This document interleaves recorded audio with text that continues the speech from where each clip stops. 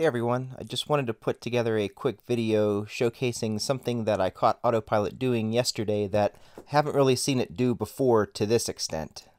I'm not sure if this was something that is part of the latest update or if it's been there for a while and the conditions haven't been right for it to work, but the sky driving home yesterday was just the perfect shade of gray and the roads were just wet enough that the reflection off of the road didn't allow the camera to see the lines or track the lines very well. The result was autopilot working without actually displaying visually that it was reading the lines, including not only straightaways, but going around curves, and not only subtle curves, but some pretty sharp curves as well. And although it wasn't possible to enable autopilot without there being a line tracked, if it lost lines anywhere along the drive, it would just simply continue to work and not give me a takeover or a hold the steering wheel. It just kind of worked.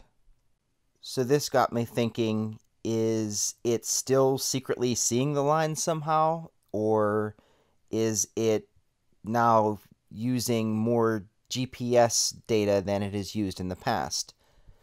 One thing that really got me thinking about this was there is a super duper sharp 90 degree bend uh, near my home that when autopilot is enabled it would just run me straight off the road.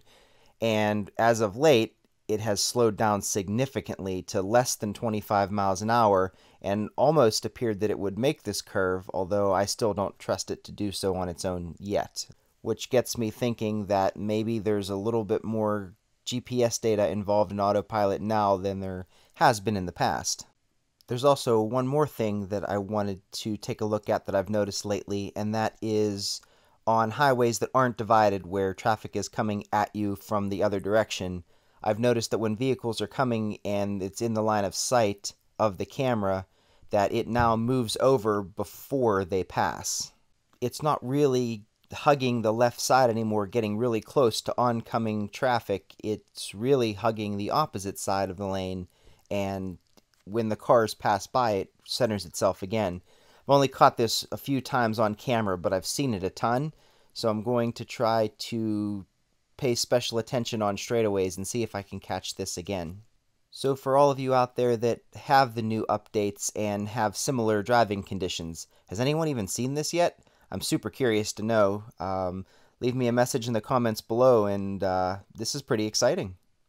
I think that the being able to drive without lines and uh, stop sign and red light detection will be like the next big giant thing that we all freak out about when we finally do get the update, and it's really looking like this might be the first steps toward that.